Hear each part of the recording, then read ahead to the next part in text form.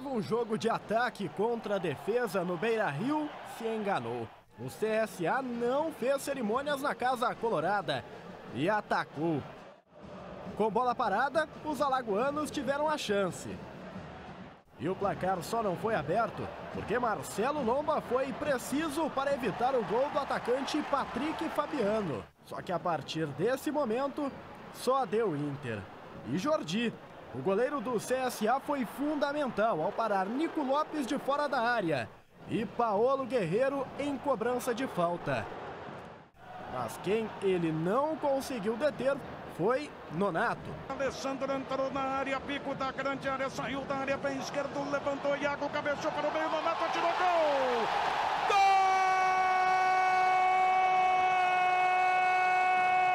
Gol do Internacional, Nonato! A festa só não ficou ainda maior com o Victor Cuesta, porque o gol do argentino passou por revisão do VAR. E a decisão foi pela anulação por conta do impedimento de Emerson Santos no ataque. Na semana passada contra o Cruzeiro o lance foi igual que o nosso hoje e, e o VAR não revisou jogada nenhuma. Depois de eles conversarem e mandarem para a FIFA e a FIFA mandar para eles que semana passada estava impedido, aí eles acertaram hoje. Na segunda etapa, Carlinhos chegou assustando na falta.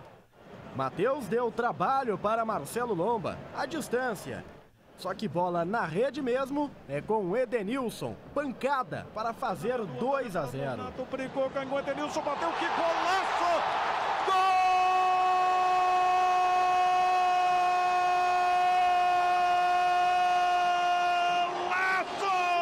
Edenilson para o Internacional! Tentando o gol, Guerreiro apostou no chute de longe também, só que não deu certo. E o jogo de oportunidades para os dois lados terminou assim. Placar final: 2 para o Inter, 0 para o CSA. O jogo não foi fácil, o jogo foi difícil.